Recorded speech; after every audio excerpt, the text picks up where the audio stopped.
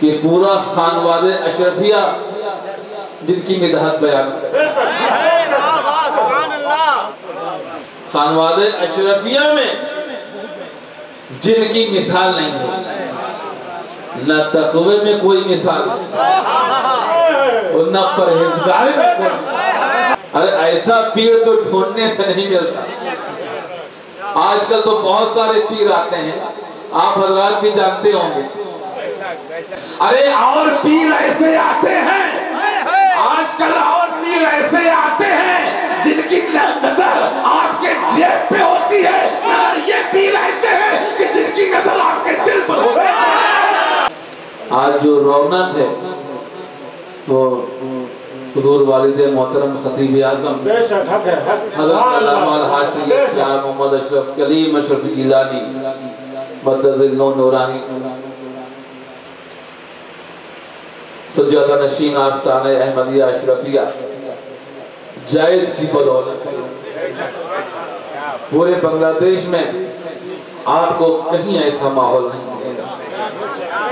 पूरे बांग्लादेश में आपको ऐसा माहौल नहीं मिलेगा जो सैदपुर में मिलेगा। अल्हम्दुलिल्लाह, ना यहाँ मोहब्बत करने वालों की कमी है, और ना अकीदत रखने वालों की कमी है। सुन्नियों के दिल में इश्क रसूल की क्षमा रोशन। तो ये क्षमा जलाने वाले वाले मतलब की बात जो आज सबके दिलों में इश्क रसूल की क्षमा जल रही है, ये वालिद मोहतरम की मेहनत है। जब जब बयान होते थे, एक रात में दो दो, तीन तीन तकरीरें एक साथ होती थी। यहाँ तक कि सिनेमा थिएटर तक बंद हो गए थे। रिकॉर्ड है सैदपुर का सिनेमा थिएटर बंद हो गया हो। अल्हम्दुलिल्लाह। हम आप बहुत खुशनसीब हैं।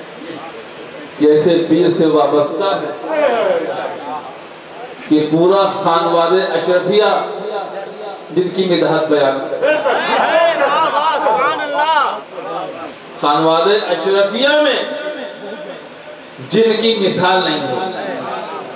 न तकवे में कोई मिसाल और न परहेजगारी में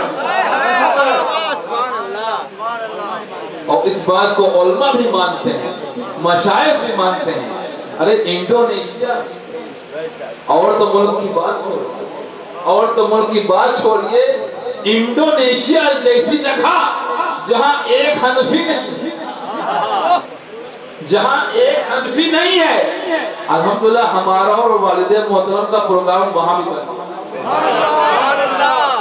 और वालिद मोहतरम का चेहरा देखते ही सब ऐसा गिरवीदा हो गए।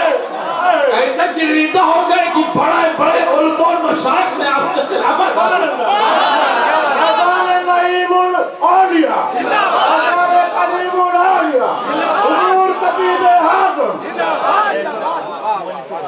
अभी अभी, हाल ही में इंडोनेशिया का सफ़र करके हम वाले अलहमदुलिल्लाह, इतना अजीम शान प्रोग्राम किया उन लोगों ने। इंटरनेशनल सूफी कॉन्फ्रेंस जिसमें पैंसठ मुल्कों से और मशाइख आए।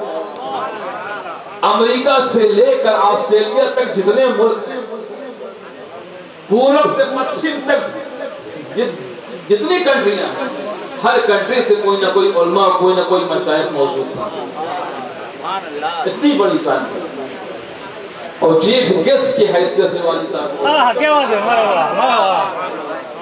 चीफ गेस्ट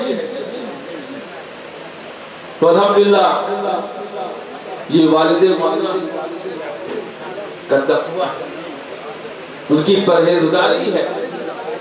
और अल्हम्दुलिल्लाह ने हुजूर मखदूम अशरफ जहांगीर सिंह नानी के सदके में आपके चेहरे पे वो नूर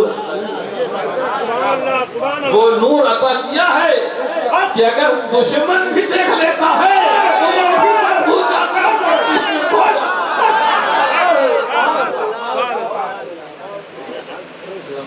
तो ये वालिद मोहतरम की जात है। तो हम आप खुशनसीब हैं जिनके दामन से वाबस्ता है।